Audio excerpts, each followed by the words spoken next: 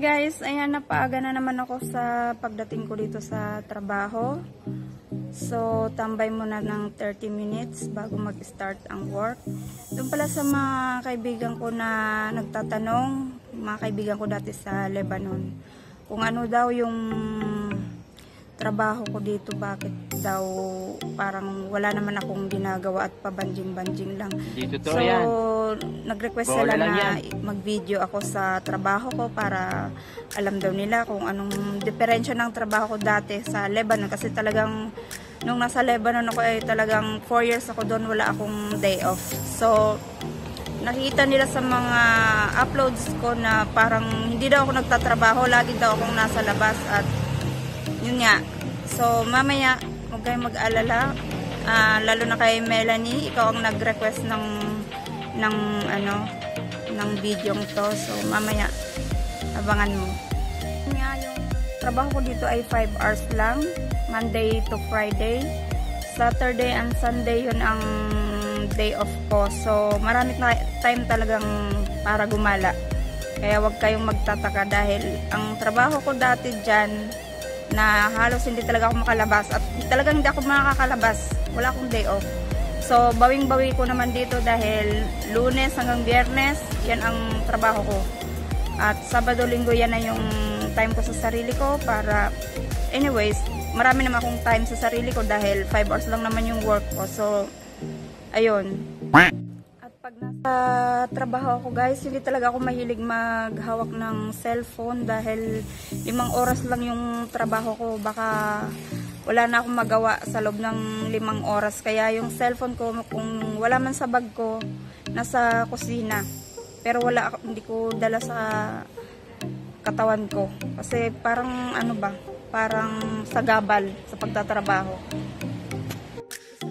Ah, marami naman akong time para sa cellphone pag bago pumasok at saka paglabas ko ng work, ang dami kong time para mag-cellphone. So, sa trabaho hindi talaga ako nag-cellphone. Kaya, pasensya na minsan sa mga hindi ko nare-replyan agad pag may message dahil hindi ko talaga hawak ang phone ko.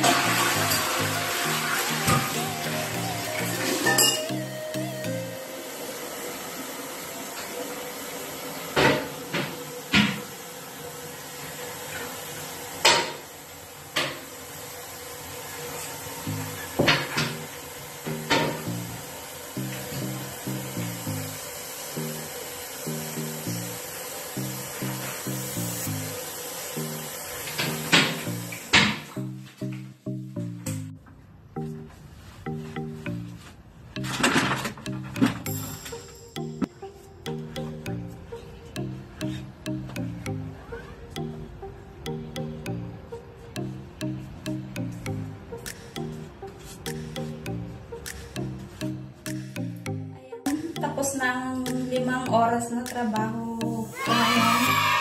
So, nag-lagit na yung mukha ko.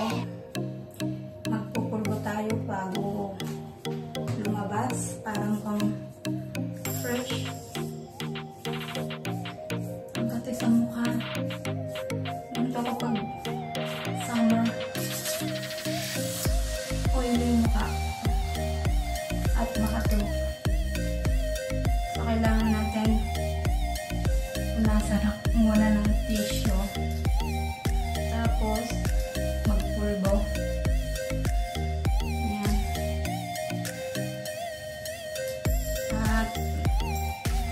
lipstick.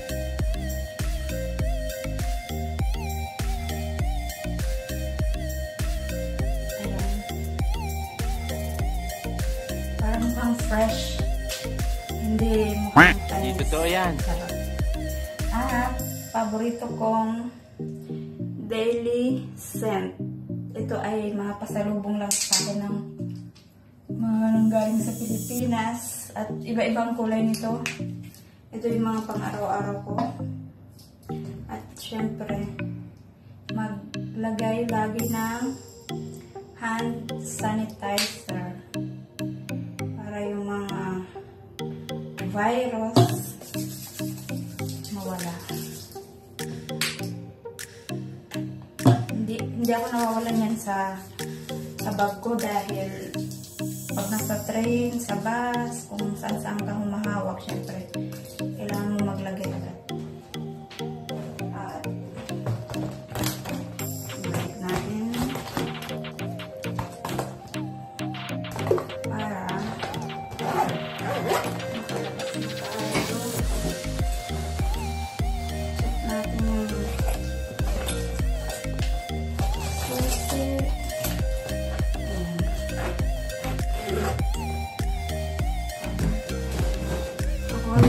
Hindi muna uuwi. Ah, iikot muna ako, gagala muna ako. Baka gabi na naman ako makakauwi. Kasi nga mainit. Ay, ayoko mag... Ayoko nang tumambay sa bahay. Masarap sa labas mag... Pangin-hangin.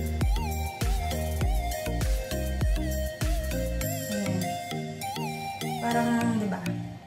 Fresh pa din. Trabaho. Charot. Limang oras lang naman yung trabaho. So, tapos na. At bukas ulit. Pupunta ako ng Curious ngayon guys. Ipadala ko yung sabon na order sa akin papuntang Palma de Mallorca. Ayan na yung train sakto. Why are you running? Why are you running?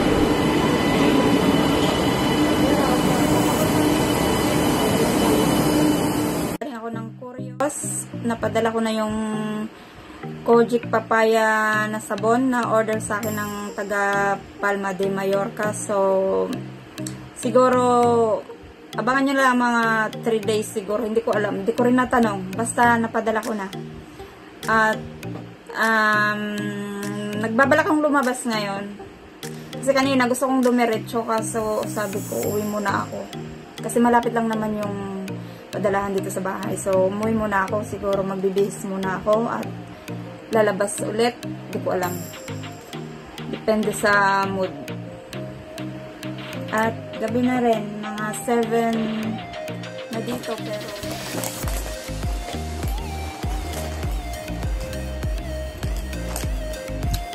Namiss ko to.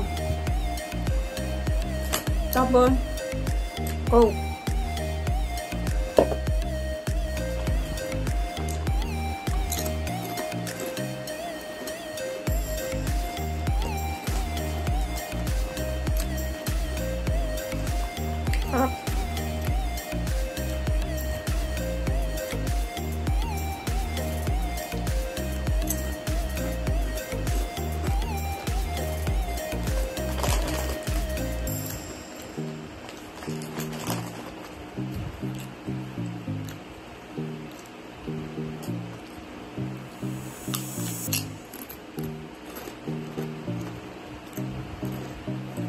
Nakakapanghina dito yung init.